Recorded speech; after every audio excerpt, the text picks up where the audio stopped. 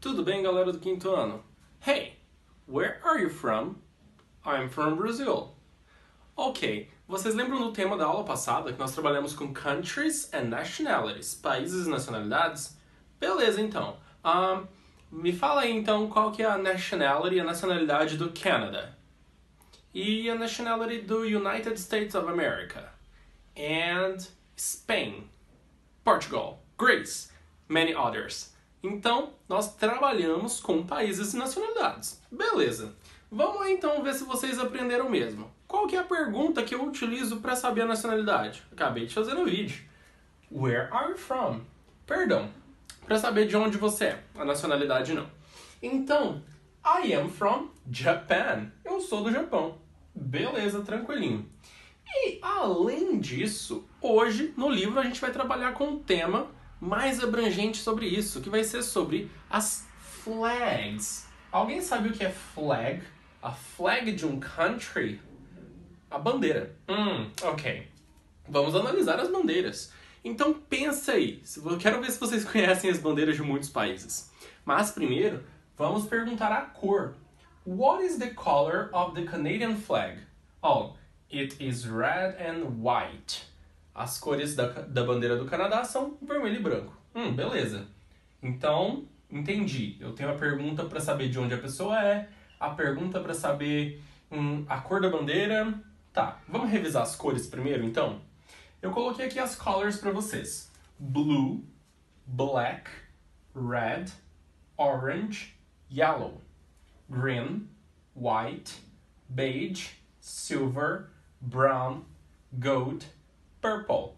So here we have blue, azul, black, preto, red, vermelho, orange, laranja, yellow, uh, amarelo, green, verde, white, branco, beige, bege, silver, prata, brown, marrom, gold, dourado, purple, roxo.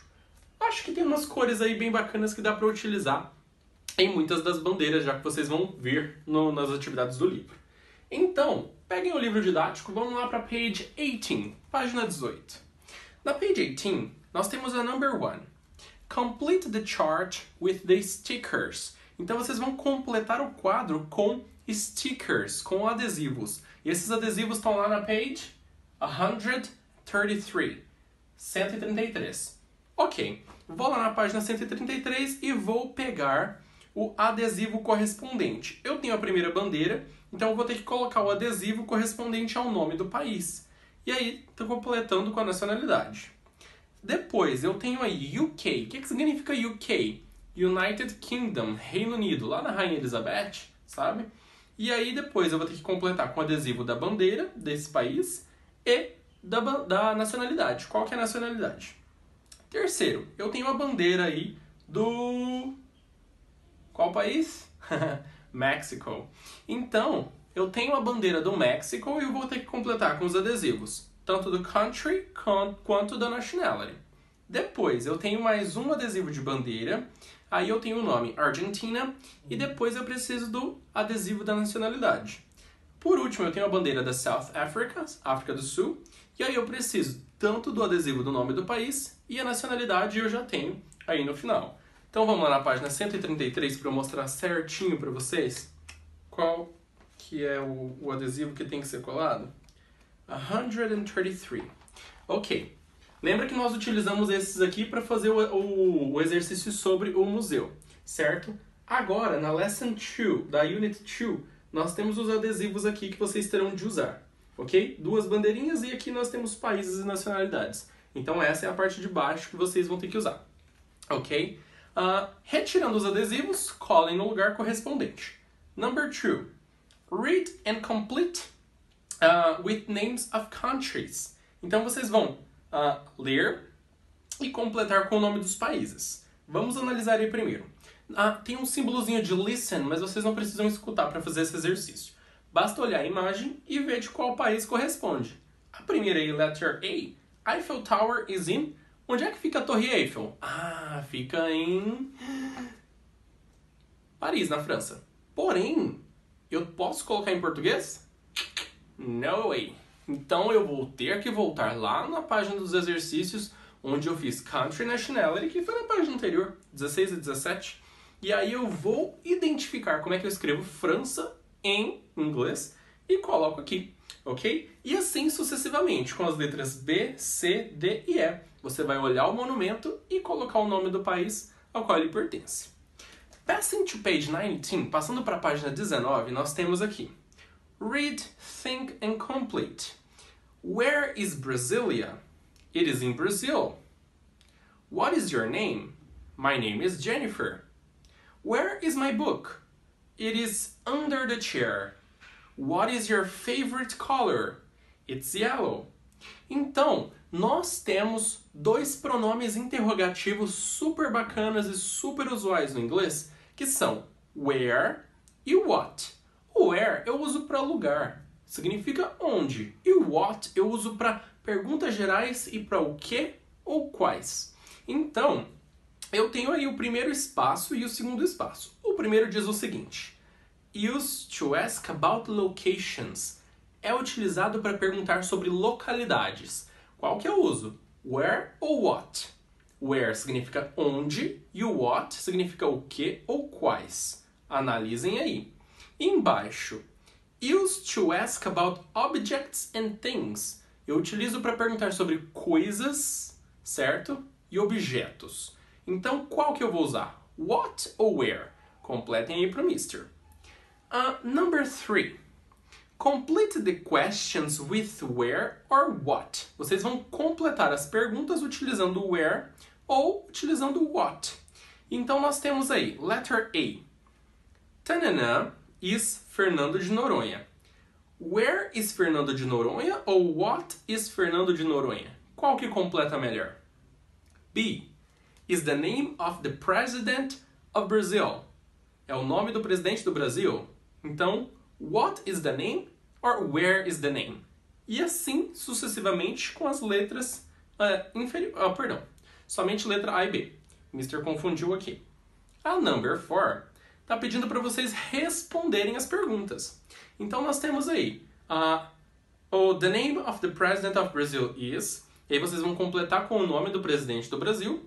E ao lado, it is in essa bandeira aí, ó ela se refere ao Brasil, certo? E isso se refere ao exercício de cima, o exercício número 3. Então eu vou ter que completar o nome, ok? Do país, ou seja, Brasil em inglês, correspondente à imagem de cima.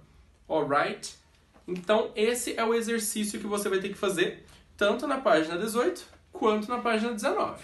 Ok? Então a gente viu um pouquinho além hoje. A gente reveu a gente reviu o, os países e as nacionalidades, uh, as colors, as cores, what e where. Perguntas gerais em inglês. Ok. A number 5 diz o seguinte: Match the questions in activity 3 with the answers in activity 4. Então vocês vão ter que ligar é, o exercício 3 com o exercício 4. Tem um quadrinho aí antes da resposta, não tem? Um quadrinho vazio? E aí vocês vão ter que completar qual que corresponde à letra A no exercício 3 e qual que corresponde à letra B, também no exercício 3. Simplesmente isso. Então, esses são exercícios da página 18 e 19, ok? Além desse exercício, temos um outro lá à frente, ok? Que é aquele que corresponde ao final do livro, certinho? Que corresponde ao que nós temos que fazer. E ele está na page, na página 102, 102, ok? Esse é o último exercício dessa aula. E esse 102, ele pede para vocês completarem com o nome do país na number one, o nome do país e as cores que estão faltando sobre a bandeira. Então tem a descrição de cada bandeira, das cores, mas estão faltando algumas cores. Então vocês vão ter que completar, ok? Vamos fazer a letra A junto? Primeiro a gente tem a bandeira do Brasil, certo? Então nós temos the. E aí, como é que eu completo? A bandeira do Brasil, the Brazilian flag, is green. E aí, que cor tá faltando? Porque eu tenho blue and white, tá faltando uma. Uh, tenho lá, o losango é yellow. Então eu vou completar o meu espaço com a cor que está faltando, yellow. Beleza.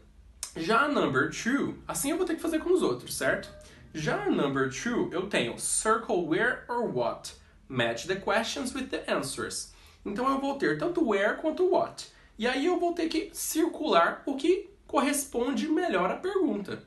Primeiro, is his name? Eu utilizo what is his name or where is his name? Vamos relembrar que o what eu uso para coisas e objetos e where eu uso para localidades. Então, where significa onde, what significa o que ou quais. Analisem aí.